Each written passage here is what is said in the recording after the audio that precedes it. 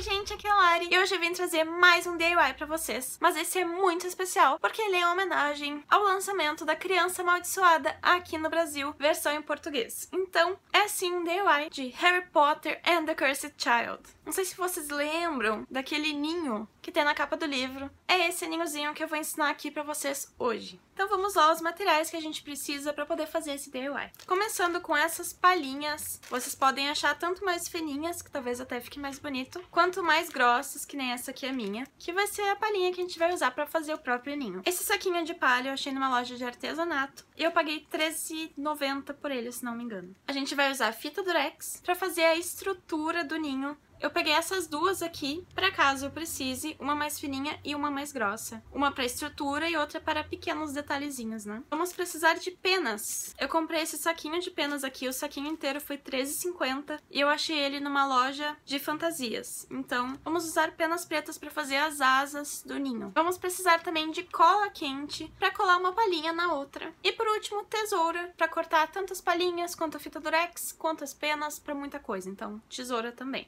E é isso, gente. Esses são os materiais, muito simples. Então, vamos lá para o DIY.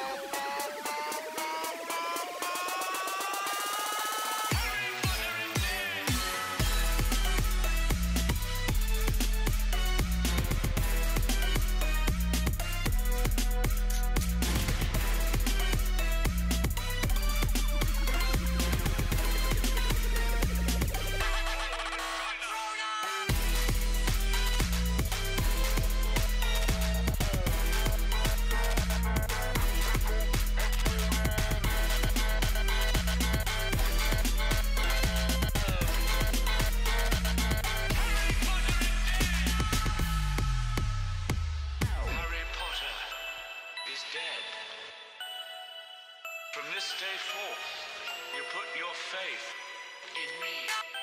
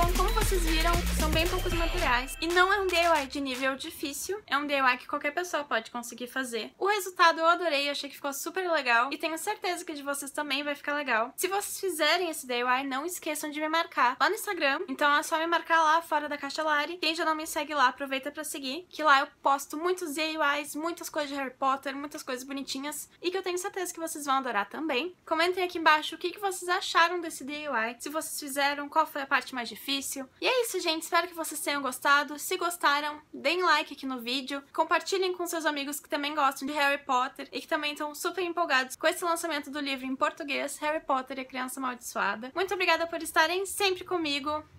Um beijão e até a próxima!